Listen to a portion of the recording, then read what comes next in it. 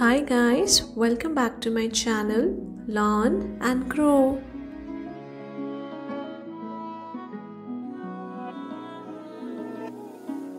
General Science Quiz Part 2 Name an instrument used to measure the density of milk.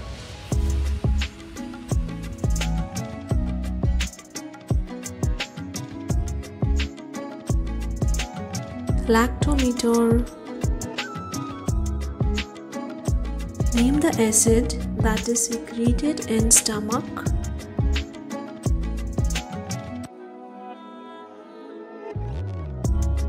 The right answer is option D hydrochloric acid.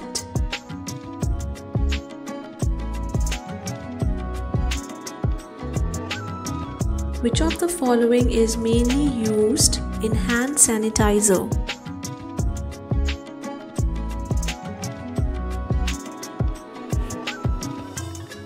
The right answer is option A alcohol. What is the study of mushrooms called?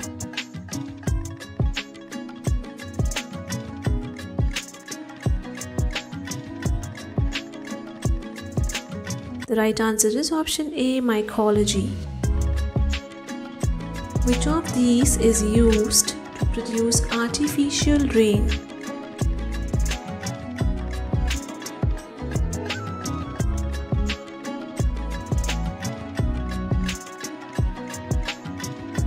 Silver iodide.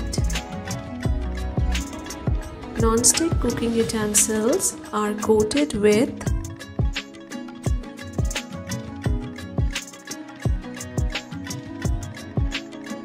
The right answer is option A Teflon. Thank you for watching. Don't forget to like, share, comment and subscribe.